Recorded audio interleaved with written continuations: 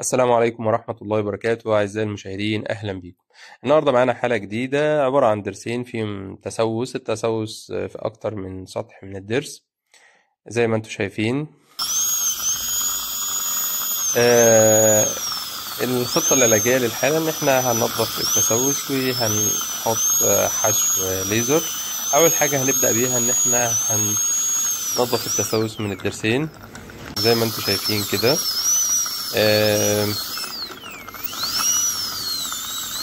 طبعا لازم نشيل التسوس بالكونترا ويكون آه، في coolant شغال اللي هي الم- المية اللي طالعة دي عشان ما يحصلش فيه آه، حرارة عالية تأثر على العصب بتاع الضرس.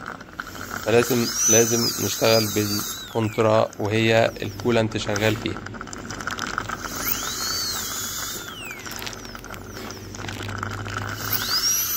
طبعا بنبدأ ننظف التسوس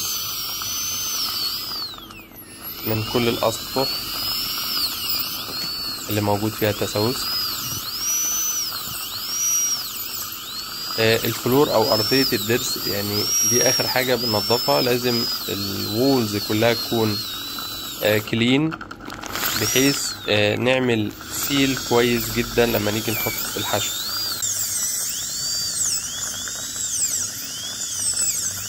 هنا ال margin أو ال walls بتاعت ال cavity بدأت تبقى clean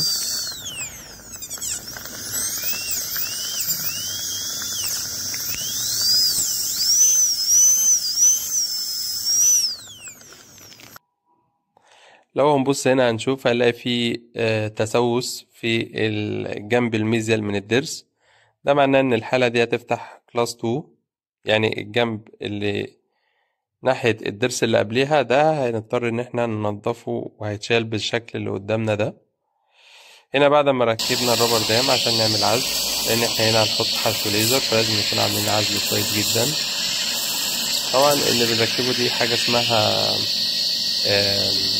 تeflon ده بيساعد إن إحنا نعمل آه، عزل كويس. يعني اللثة ما تطلعش الفلويد اللي بيبقى موجود جواها.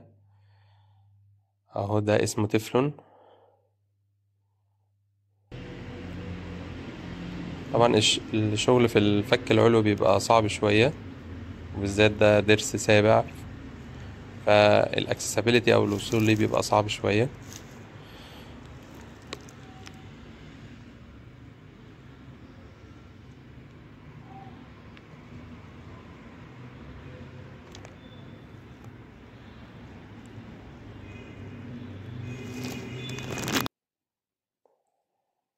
هنا لو هنبص هنلاقي الدنيا بدأت تبقى more clean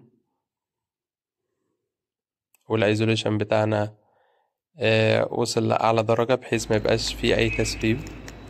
هنا بنستخدم الآلة دي اسمها excavator عشان نطمن إن ال floor أو أرضية ال cavity ما فيهاش أي آه، تسوس. فإحنا بنشتغل بيها بحيث لو فيها أي soft caries أو تسوس soft نقدر نشيله. هنا بعد ما حطينا ال restoration بتاعتنا أو الحشوة بتاعتنا في الجزئية دي دي بنسميها class 5 هنا بعد ما حطينا ال restoration بتاعتها بحيث نضمن إن المنطقة دي نقفلها و... وما يحصلش أي contamination باللعاب أو ال fluid اللي موجود في ال gingiva هنا نشفها بالجهاز الليزر. هنبدأ هنا خطوات حشو الليزر. في الضرسين بقى في في الجزء ده من الضرس السابع ده class 1 وفي الضرس اللي هو السادس ده اسمه class 2 اللي إحنا بنحط فيه ال acid etch اللي إحنا بنعمله دي حاجة اسمها selective etching يعني بنعمل etching لطبقة المينا بس.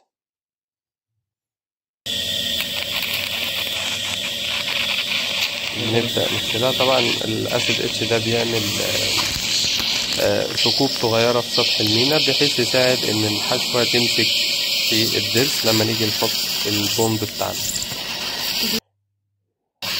هنا بنغسل ال acid etch ده كويس جدا. هنا بنركب ال ring دي بتساعد إن ال contact بتاعة ال- الضرس تبقى بتبقى يعني في tight contact ما بينها وما بين الضرس اللي قبل منها. بس هنا الضرس اللي قبل منها زي ما إحنا شايفين ال restoration اللي فيه مش أحسن حاجة. هو معمول حشو عصب ومحتاج يتعمل له crown هنا بنبدأ نحط ال ال bond طبعا لازم نحطه على كل الأسطح بتاعة ال cavity بنبدأ خطوات حشو الليزر. بنحط flowable composite أو يعني حشو ليزر من يعني النوع بتاعه بيكون بي flow بحيث يملأ أي irregularities موجودة في ال floor بتاعة ال cavity. بعد كده بنمل... بنب... بنبني ال wall بتاع class 2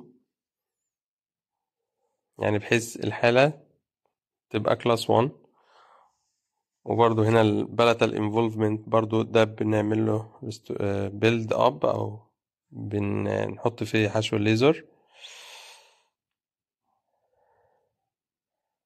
نكمل حشو الليزر layer by layer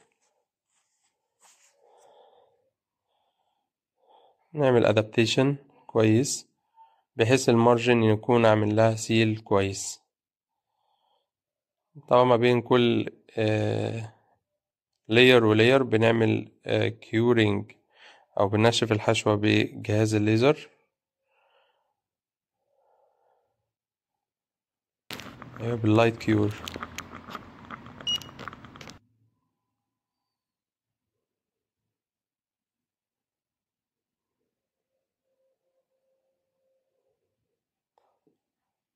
هنا بنبني حاجة اسمها الأوبليك ريدج اللي موجود في الضرس السادس. طبعا ضروري إن إحنا يعني نراعي برضو جزء من الأناتومي بتاع الضرس.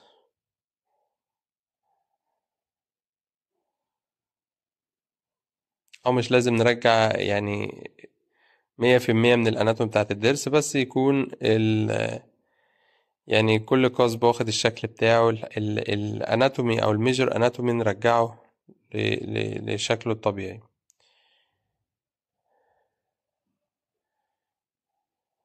هنا لو هنلاحظ هنلاقي ال oblique ridge بدأ يظهر. هنا بعد ما خلصنا خالص قبل وبعد. هنا ال class five لو هنشوفه. هنا صورة بعد. دي الأرقام بتاعتي لو حابين تتواصلوا معايا. ودي صفحة الفيسبوك. share و like و subscribe وياريت ما تنسوش تشوفوا الفيديوهات اللي قبل كده. وتتابعوني عن طريق الاشتراك بالقناة. والسلام عليكم ورحمة الله وبركاته.